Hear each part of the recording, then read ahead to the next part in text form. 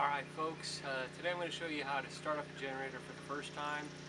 We had a big thunderstorm in uh, Maryland last night and uh, I was lucky enough to get to the store this morning to pick up the last 4,000 watt generator. It's a little different uh, starting it for the first time than it is if you've had something for uh, up and running for many hours. But uh, I'm going to open it up, show you how to do everything, and in the future, if you have a generator, you can see how to do it for the first time.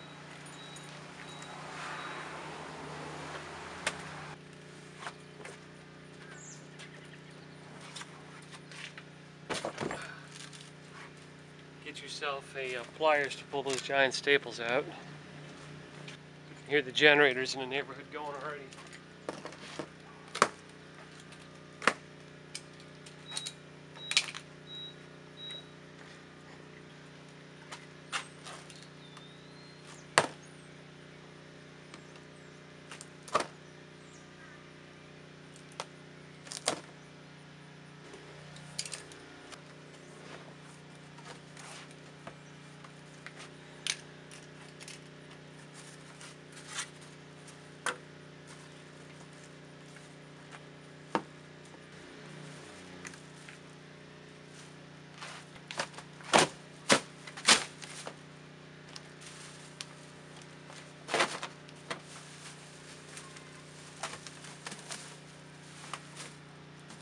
Okay, rather than ruin my back, thought I'd ruin the box.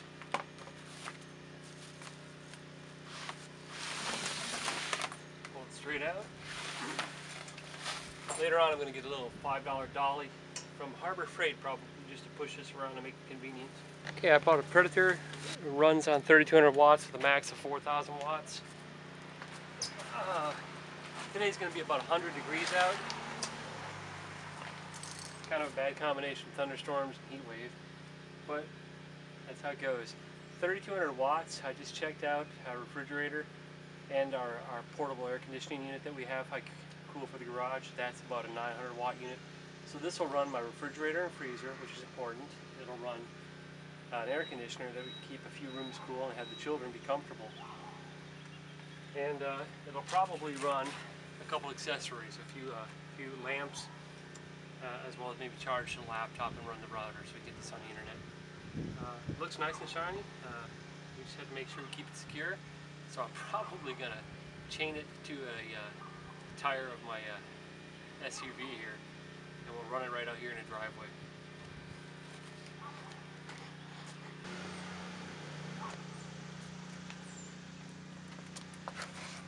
Okay, this model, it's a Predator generator, uh, 4,000 max watt uh, generator. Everything you need to know comes on these handy little uh, plastic laminated sheets. Uh, pretty simple to do, but some things you have to do or you'll ruin a, generator right off the bat. You need to add engine oil to the crankcase. We're going to do that. Then we'll add fuel to within one inch of the rim. On the side, we'll go from choke to uh, from run to choke. Open the fuel valve, switch to switch to on, and then give it a crank. That should start it up and we'll go over the details of that as we go through it. I took the camera off the tripod to show you where the oil is on this model. Step one of this is to fill the gas up. It's got a nice uh, gas filter on top. It's got a great screen inside to protect it from uh, particulate matter that get in there. It's supposed to fill that up, step one, to uh, within one inch of the top. Step two is to add engine oil to the crankcase. On this model, that is way down here. Here's the engine crankcase. So it's warm out, so we're gonna use 10W, 10W30. That's the weight for the warm weather stuff. And because of the awkward position of this, it's literally six inches off the ground underneath the unit. I'm gonna use my trusty long neck filter. Hopefully that'll fit. And I may have to uh, may have to angle that up just a little bit. So we'll add, uh, I'll see the capacity of that the oil, add that, we'll add the gas, and then give it a crank. Okay, time to add gas. Just gonna use regular octane. I use a filter so I don't ruin the paint job on these things. Make sure I don't splash.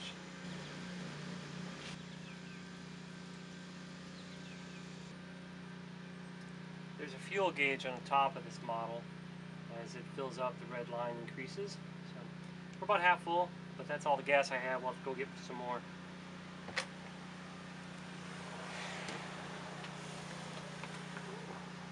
Seal it up.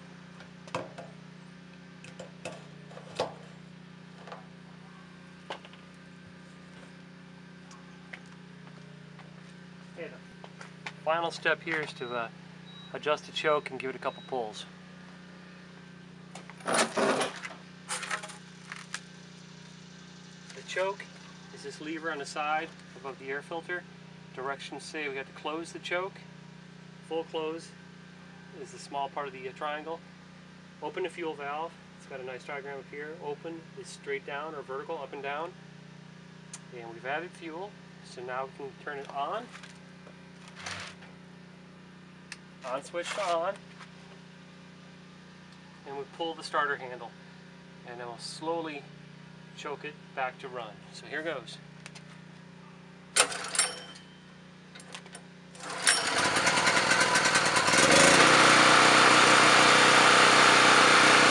And I'm going to talk loud as it's going, but it seems to be running pretty well right now.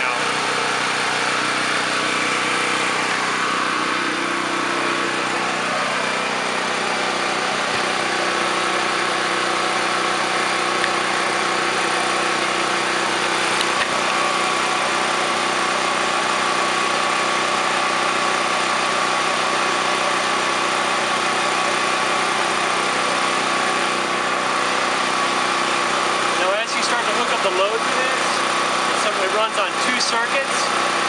One circuit here, one circuit there. Make sure you split the load evenly. So if I'm going to run my air conditioner, put it in here. If I'm going to run other stuff, put it on this side. We're going to go ahead and fire it up and test it out.